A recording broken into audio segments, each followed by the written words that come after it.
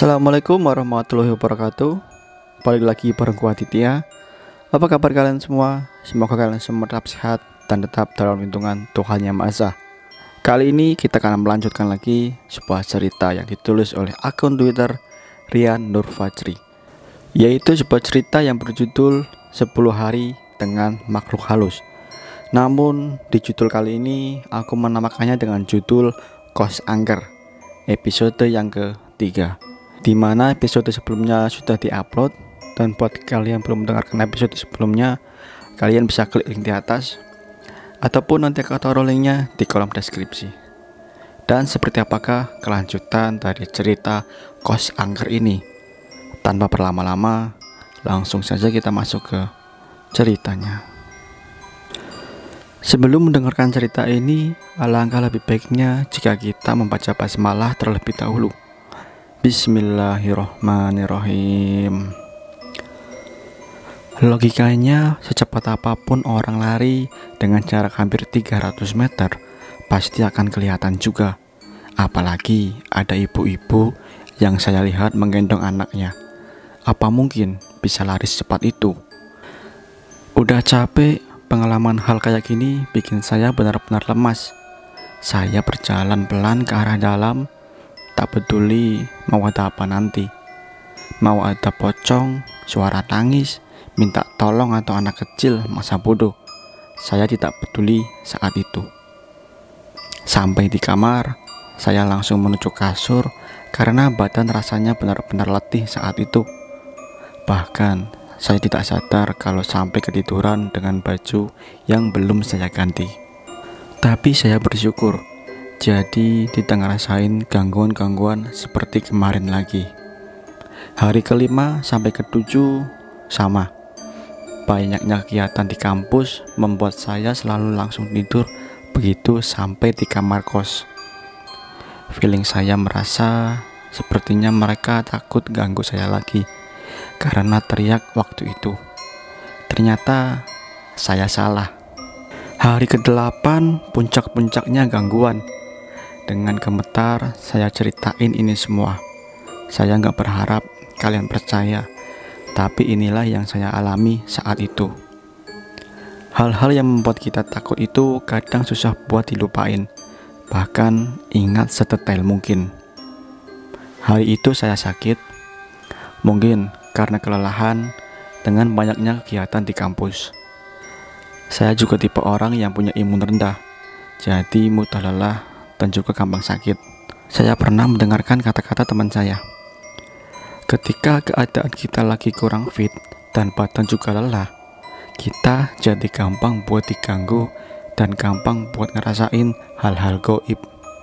Nah itu benar atau tidak, tapi saya rasakan itu. Dari bangun tidur, badan saya sangat lemas.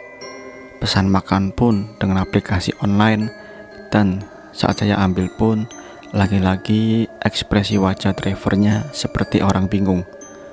Entahlah, saya nggak mau pikirin itu juga. Memasuki waktu maghrib, suasana kembali hening. Saya cuma bisa tiduran di kasur. Saya tidak memberitahu AB karena menurut saya sakit ini masih bisa sembuh dengan sendirinya. Cukup istirahat saja, menurut saya sudah bisa bikin sembuh. Saya lupa waktu itu jam berapa. Posisi masih sama di kasur. Tiba-tiba ada suara dari arah depan kamar. Suara yang aneh menurut saya. Srek, srek, srek. Suara itu seperti benda diseret. Dari yang tadinya pelan saya dengar hingga akhirnya suara itu berhenti tepat di depan kamar saya. Saya sadar, tapi cuma bisa diam. Merinding mulai saya rasakan. Dalam hati bertanya-tanya, itu suara apa? Mau bangun tapi malas gerak dan juga takut ada yang aneh-aneh. Saya diamkan. Mungkin ada sekitar 30 menit suara itu nggak ada lagi. Biarlah, yang penting nggak ganggu saya sampai ke dalam.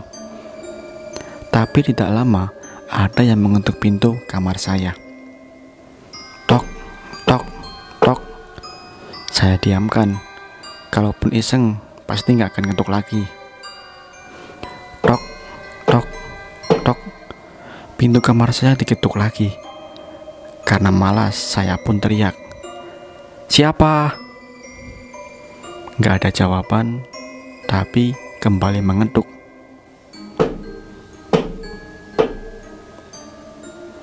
Siapa sih? Tinggal ngomong aja susah amat, ucap saya yang kesal. Tok, tok. Kesal, saya langsung bangun dan menuju pintu kamar. Saat pintu dibuka, saya lihat kanan dan kiri tidak ada siapa-siapa. Saya tutup lagi pintu tersebut. Saat itu saya masih masa bodoh karena sedang sakit juga. Baru mau repahin badan di kasur, ada yang mengetuk lagi. Tapi cuma sekali ketukan.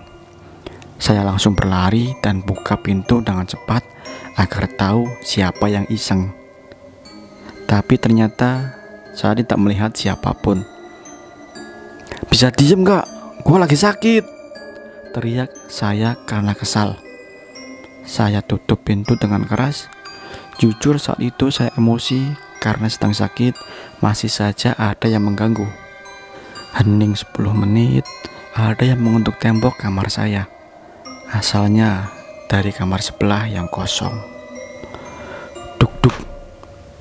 Kesal juga, saya balas dengan pukulan dan teriakan.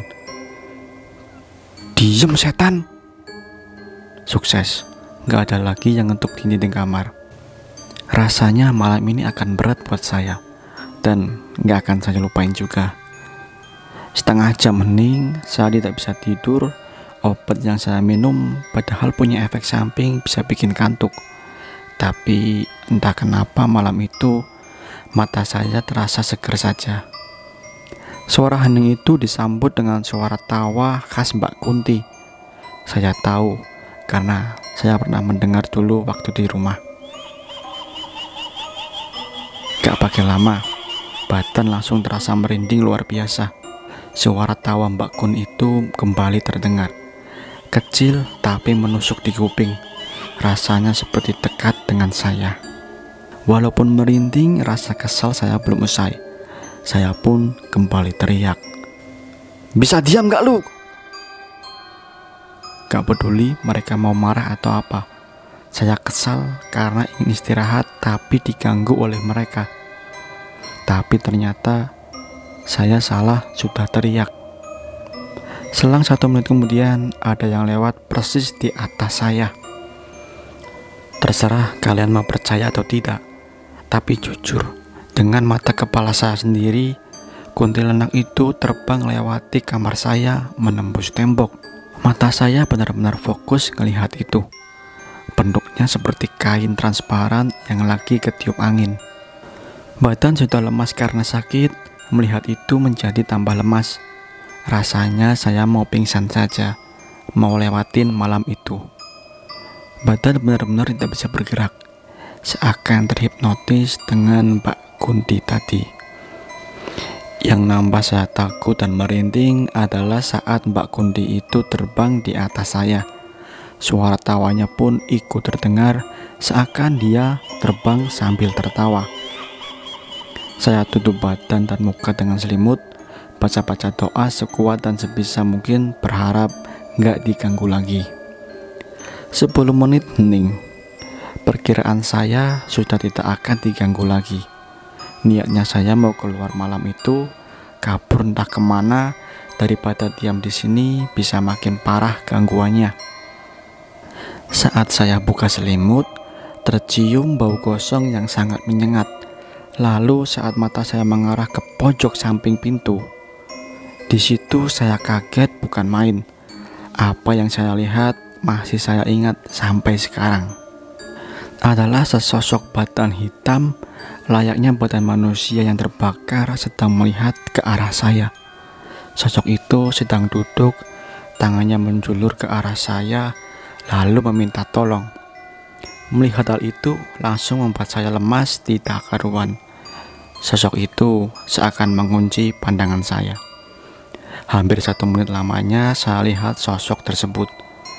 Sedikit transparan, namun jelas bentuknya yang hitam, kosong, dan beberapa bagiannya hancur. Tolong saya. Ya, itu yang diucapkan oleh sosok tersebut.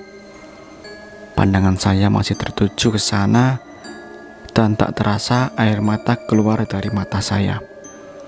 Tak lama sosok itu hilang. Barulah saya bisa bergerak dan langsung bangun menuju pintu kamar. Tapi pintu terkunci. Dengan keadaan panik, lemas dan menangis, pintu kamar saya tidak bisa dibuka. Padahal kuncinya ada dan saya buka, namun tetap tidak bisa. Seakan ada yang mengunci dari luar. Ya Tuhan, tolong saya. Ucap saya dengan keadaan menangis. Saya terus coba mainkan gagang pintu. Kunci saya coba pun tetap saja nihil. Saya pasrah. Sambil menangis, saya duduk di tembok sebelah pintu. Tak lama, bau gosong kembali saya rasakan.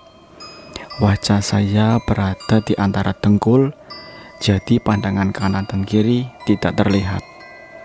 Saat bau gosong itu muncul, saya tidak mau mengangkat kepala ini karena takut melihat sosok itu lagi. Tapi entah kenapa, seolah ada yang mengangkat kepala saya dan mengarahkan ke kiri. Inilah yang tidak bisa saya lupakan sampai sekarang. Sosok kosong tadi sekarang posisinya di samping saya. Wajahnya sangat dekat dengan saya. Dengan jelas saya melihat kulitnya yang hitam dan bersisik. Tulang tangannya dan badannya serta tulang kepalanya sangat jelas. Kedua matanya bolong dan sosok itu membuka mulutnya yang membuat saya jadi melihat gigi dan rongga tenggorokannya. Ya Tuhan, ampun, tolong. Itulah kira-kira yang saya ucapkan setelah melihat sosok itu. Teriak keras-keras-kerasnya dan menangis sejadi-jadinya. Tak lama, pandangan saya gelap. Cerita kos angker ini belum selesai. Masih ada part selanjutnya. Jika kalian suka dengan cerita ini, kalian bisa klik like di bawah. Klik juga tombol subscribe dan aktifkan juga loncengnya agar kalian tidak ketinggalan ketika channel ini upload video baru. Di mana pun kita berada, sudah sepatutnya kita saling menghormati dan tidak mengganggu satu sama lain. Jaga perkataan, jaga perbuatan, Sampai jumpa di cerita selanjutnya.